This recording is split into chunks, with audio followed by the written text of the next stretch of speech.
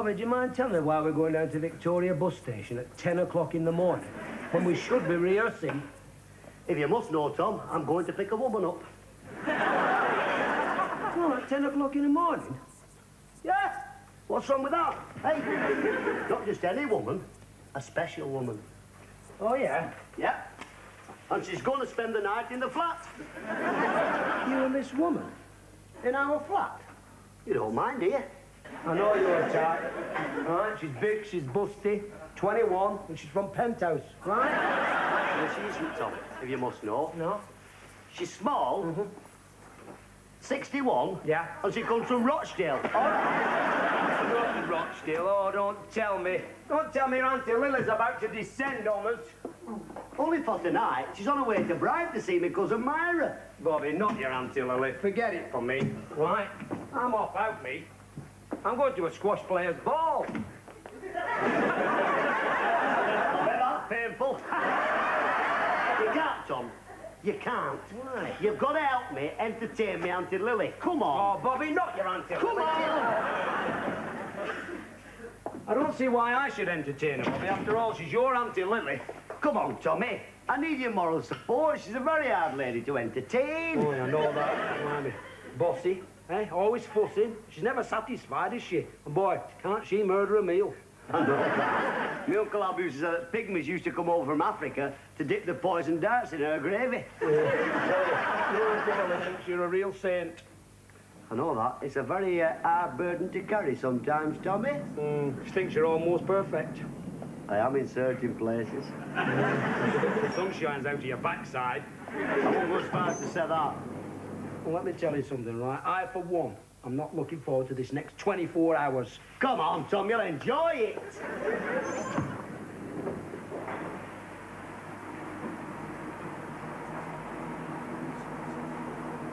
Your Auntie Lily, eh? What a woman. Always fussing, always complaining, and what a terrible cook she is. Suppose she'll be cooking us one of them terrible meals again, won't she? Cottage pie. It's always cottage pie. Shut up, Tom. You're fetching me bile up. Remember that last meal she cooked us cottage pie? Eh? You took one mouthful, didn't you? Slipped the rest under the table to the dog. Yeah, you remember that? I miss old Rover, do you? I tell you, I, for one, I'm not looking forward to this visit. Why? Why? Well, the main reason being is that uh, your Auntie Lily still treats you like a little boy. Just shack. Of course. She She's still sending you two bars of soap once a month, isn't she? She's forever saying to you, stand up straight, when you're already standing up straight. Well, you can understand it, really, can't you? I mean, she fetched me up when I was a little boy, because my mother had to go to work. I mean, that's why she mothers me. Smothers you more like. Got to make your Auntie Lily understand you're a man. Worldly wise, grown up, mature. Yeah, I am, Tom. I'm worldly wise, grown up, mature, you're right. Robert?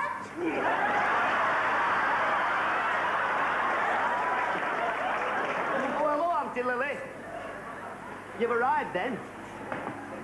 Well, of course I've arrived, otherwise I wouldn't be here, would I? now come and give us a kiss. And stop sucking your thumb. Hello, Auntie Lily. Hello, Thomas. You look younger and prettier than ever, don't she, Bobby? Yes, you do, Auntie Lily. You look really younger and a lot prettier. Yeah. but it takes me a lot longer now.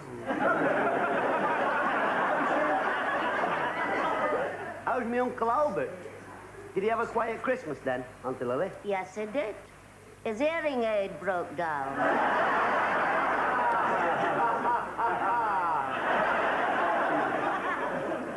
well, are we going to stand here all morning, or can we go to your digs now? Yeah, of course we can. Come on, cars in the car park. Follow me, Auntie Lily. Oh, thanks. I'll carry your case then. Right up. And do try to stand up straight.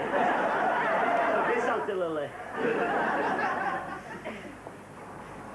Is that bag too heavy for you? Auntie Lily, look, you've got to realise I'm not a little boy anymore. I'm worldly wise, mature. I'm a grown-up human being. I'm grown up now, aren't Lily? Blimey. Can I have you got a bean over there, please?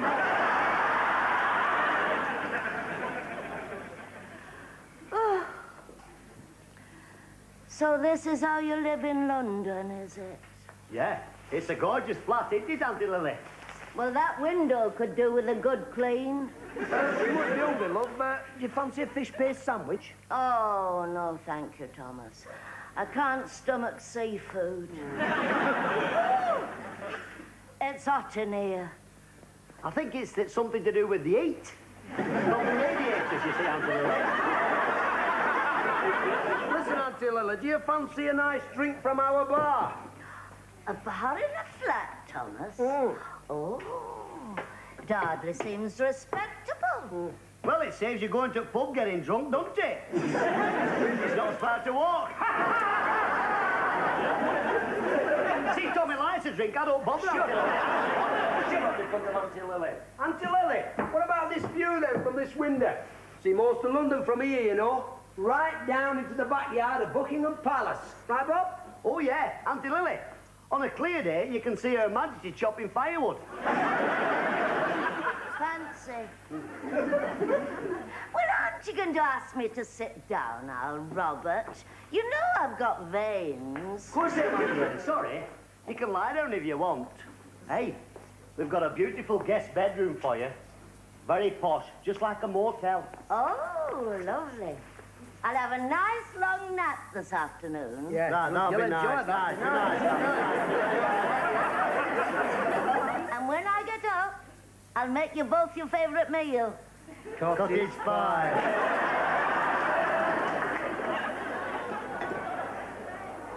Eat up, boys. I know you love my cottage pie. Yes, Auntie Lily. Oh, it was good of you both to give up your bedroom for me. I couldn't sleep in that tiny guest room. I get hydrophobia. Think nothing of it, Auntie Lily. It's going to be fun sleeping together in a single bed, isn't it, Tom? Just like being at the YMCA. Yeah. I'm thinking that. Is it cold in here? Is it me? Hey, have you turned the heating down, Auntie Lily?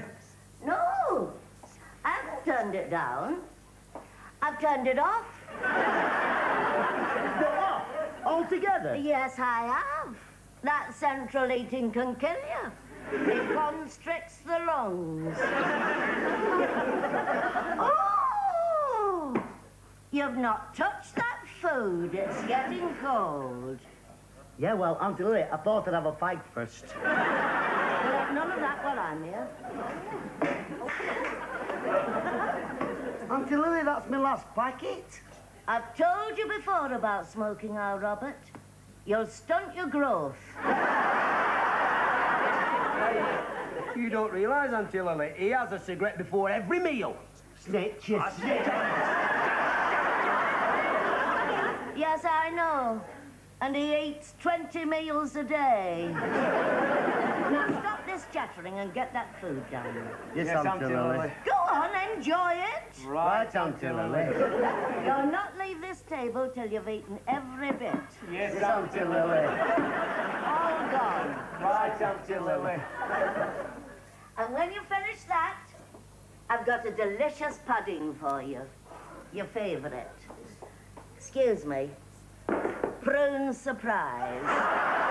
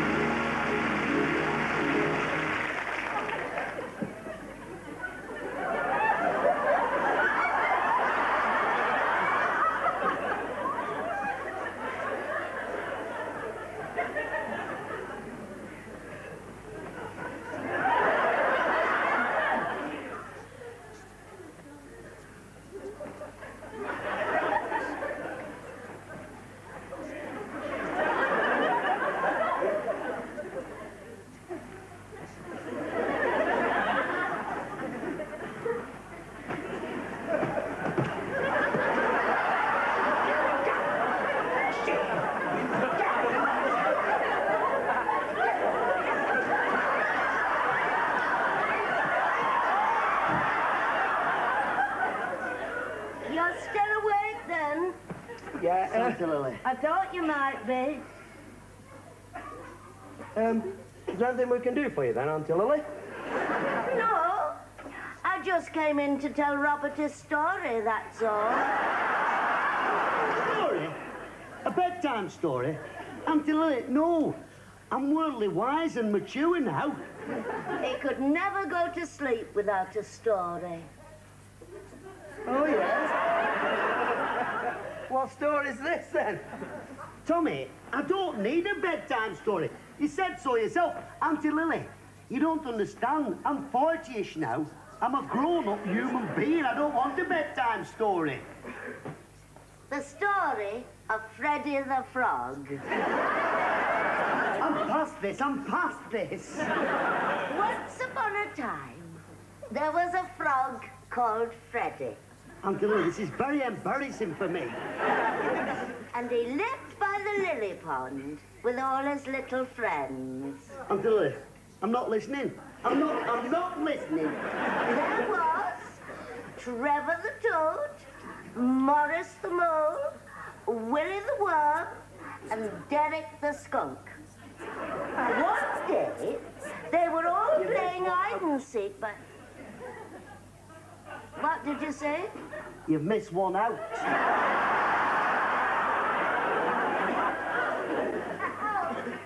Which one? Mickey the Maggot. Mickey the Maggot? Little maggot. Yeah, I love that little maggot. He's my favourite, that maggot. How can you love a maggot? For goodness sake, they're all slimy and wiggly, aren't they? They live in apples. Mickey wasn't slimy. He didn't live in apple, he lived in a potato. He was Irish. He had these beautiful brown eyes. Didn't you, Auntie Lily? Yes, he did. Maggot with big brown eyes? That's silly, that. It's silly to you, Tommy. It's not silly to me. It's very symbolic to me. Anyway, I'm listening now, Auntie Lily. Go on, get the exciting part. Well, one day, Mickey the Maggot was playing in the rockery Yeah. when suddenly he turned to his wife, Frida, and he said, Frida, His wife? yes, What are you talking about? You don't get married, maggots. For sake, they were probably living together. Shut your mouth! Don't you talk dirt in front of my Auntie Lily! They was not living together, was definitely married. I'm sorry about that, oh, Auntie it's Lily. all right. Blimey. All right, then. All right. Did they have any little maggots? No, they didn't, because the marriage were never consumed. Mm. You're spoiling my child illusions, you, Tommy. I'm sorry, Auntie Lily. Go on, go on. Well, I, I've lost the thread now. Suddenly, at the bottom of the garden, they heard a strange noise. Oh, oh, yes. Suddenly, at the bottom of the garden, they heard a strange noise. Tramp, tramp, tramp. Tramp, tramp, tramp. Do you know who it was? Yeah, six tramps. It wasn't six tramps. They were Mr. Grimes, the gardener, coming down the garden path with a flick gun full of insect repellent. I hate the next bit. Squish, squish. squish, squish. That's how he went with his flick gun. All over Freddy the Frog and his little friends. So, they all ran away down the garden. Lickety-split, lickety-split. They all and lived happily ever after. All except one. What do you say? All except one. Which one?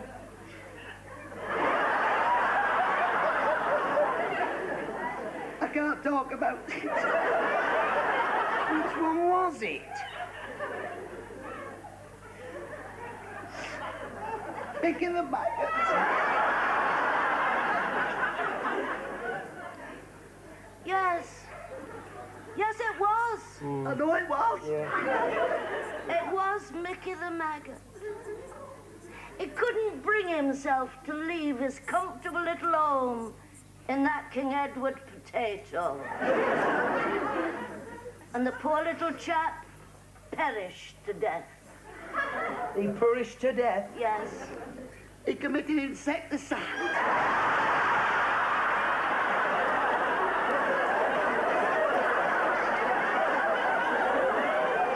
I'm upset now. I'm upset now. Oh. Oh.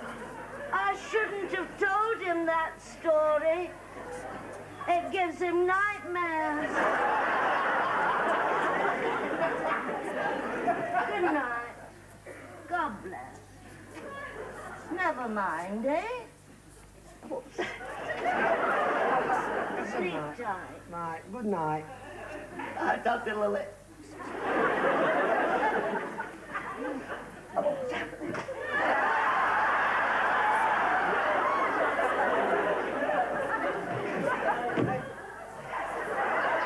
Well, what a load of rubbish that was. It's not rubbish, Tommy. It's real. It's real. Stupid. Rubbish. Child rubbish, that's what it is. Ooh, I smashed Crying, crying, that's like a baby. Do you know something? You've got no romance in your body, you. No romance. Oh, no. Them little animals, they love one another. Oh, yeah? Yes, they did. What about Freddy the Frog? What about him? He didn't say so much, did he, when his best pal got covered in poisonous fumes? He couldn't say nothing. Something wrong with his larynx. Well, what was that? He had a man in his throat.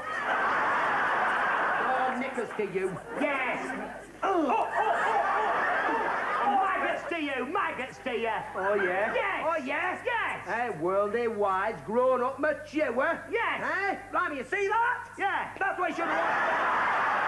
Auntie Lily, he's picking on me. Pick on you.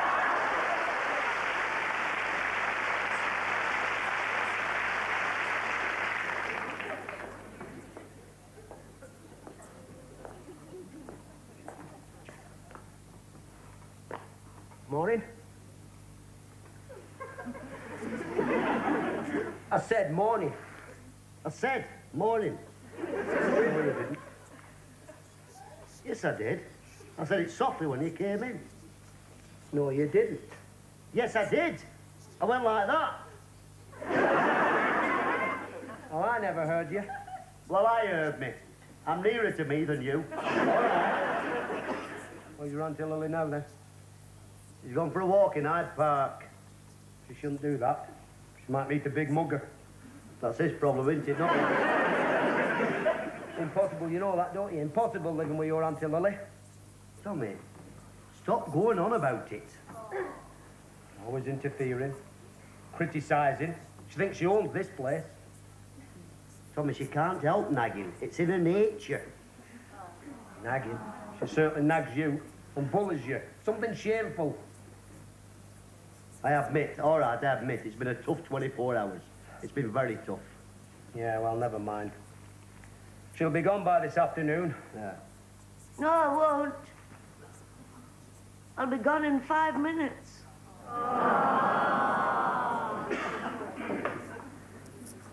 Auntie Lily, Now look what you've done. Auntie Lily, listen. We knew, me and Tommy knew you were there all the time. We're just kidding you. Of course we knew. We wouldn't do anything to hurt you, Auntie Lily. Would we, Bobby? No, we wouldn't. Not me and Tom, well, especially me. You're the salt of the earth to him. All I've ever done for our Robert has been out of love and affection. I know that, Auntie. I know I overdo it sometimes. I can't help fussing. It's. It's just that he's. He's, he's very special to me, that's all. Well, you're special to him, Auntie Lily. He loves you, Auntie Lily, don't you? I idolise you, Auntie. Do you, Bobby? Let me tell you something, Auntie. You're my Auntie Lily. and I wouldn't hurt you for the world. I love you. And that's the honest truth. I really love you. Give us a cuddle then. That's it, right, let's have some breakfast now. Auntie, shall I put the kettle on? Right, Robert. And do try to stand up straight. Uh, what are you going to cook us for breakfast, Auntie Lily? Egg, bacon and beans? No. I thought I'd warm up some of that delicious cottage pie.